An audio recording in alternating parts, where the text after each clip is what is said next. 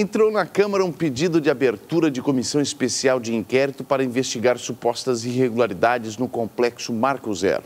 A proposta é do vereador Jamil Janene e já tem assinaturas para iniciar os trabalhos. A denúncia tem base numa investigação da Promotoria de Defesa do Patrimônio Público, que instaurou o procedimento para verificar a concessão de alvarás e habite para os empreendimentos do complexo. Parte dele começou a funcionar sem a documentação obrigatória. O idealizador do empreendimento, Raul Fugêncio, confirmou a informação ao ser convocado pelos vereadores no ano passado. Algumas ah, discussões sobre o secretário, sobre a prefeitura, sobre servidores e diante também do fato do Ministério Público estar tá abrindo uma investigação sobre a situação do Marco Zero e a prefeitura logo em seguida também abriu uma sindicância. Eu acho que a Câmara tem que buscar informações. Existe uma preocupação sobre alvarás de construções, existe muitas reclamações. Então essa essa comissão vai levantar o que acontece na cidade de Londrina, por que demora, o que, que acontece, e a fala do, do empresário, e queria dizer para ele, ele vai ter todo o apoio da Câmara, o importante é ele abrir a caixa de ferramentas, falar o que, que aconteceu, por que, que ele está com essa fala é, criticando e reclamando os servidores da, da Secretaria de Obras que não liberam alvará. E o que, que acontece? Se tem propina, vai ter que falar. Se não tiver, vai ter que falar. O que, que acontece?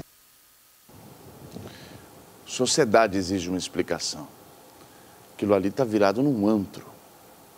Né? A parte que deveria estar na prefeitura ou com a prefeitura não está ainda, de acordo com o município. Porque parte daquele complexo do Marco Zero deveria ser doado ao município. A lei exige.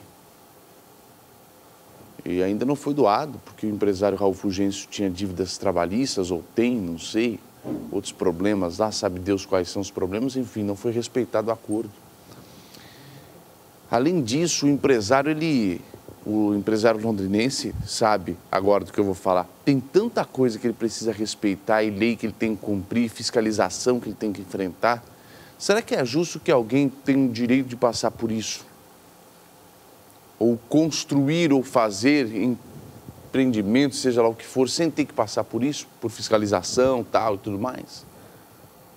Então, essa comissão, eu espero que, assim como a investigação do Ministério Público, levante tudo isso.